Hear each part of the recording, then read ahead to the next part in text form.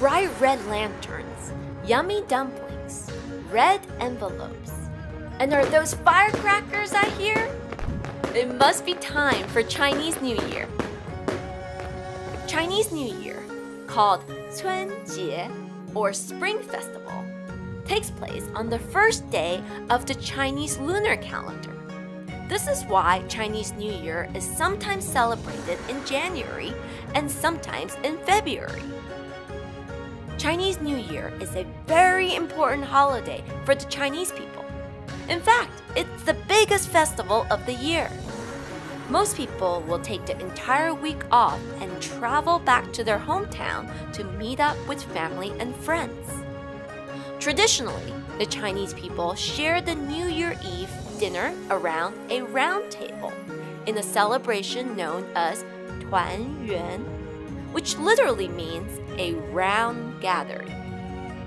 It's similar to Christmas and Thanksgiving in this way, except instead of turkey and stuffing, the Chinese New Year dinner table is filled with other mouth-watering dishes. One super popular dish is the dumplings because they are shaped like traditional gold nuggets and therefore they symbolize good fortune. Another popular dish is the fish, yu, because it puns with the Chinese idiom 年年有余, which means there's so much good fortune that there are leftovers every year. After the dinner, elders in the family will bless children by gifting them red envelopes known as 红包. And guess what's inside? Yep, money! Speaking of red, that's by far the most popular color you will see during the Chinese New Year. Red lanterns hanging from street lamps, red wall couplets called 对联 glued around doors everywhere, and even red firecrackers popping in the streets. Why all the red? Well, legend tells us that a long, long time ago in ancient China, there once lived a horrible monster named Nian. Nian's head had a wicked looking horn, and Nian's teeth were long and sharp, sharper than the sharpest of knives. Every year around this time, Nian would rise from the deepest part of the sea and come to terrorize the Chinese villages.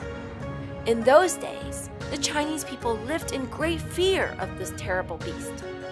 But one day, a strange old man appeared and told the villagers to hang red lanterns on the streets, attach red couplet scrolls on every door, and to dress head to toe, all in red.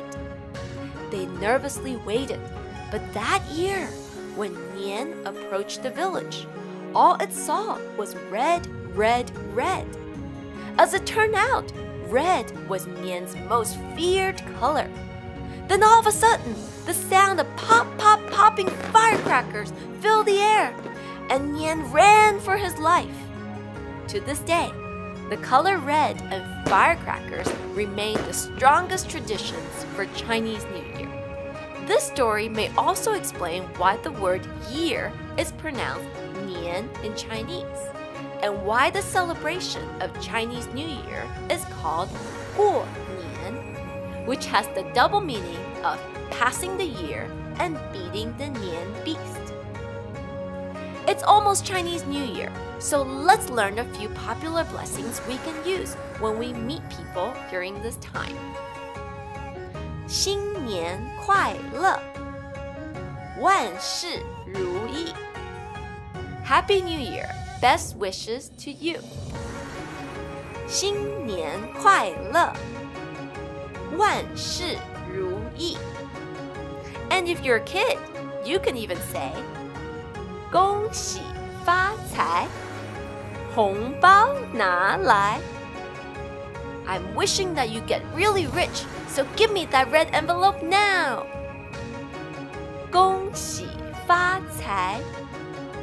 红包拿来.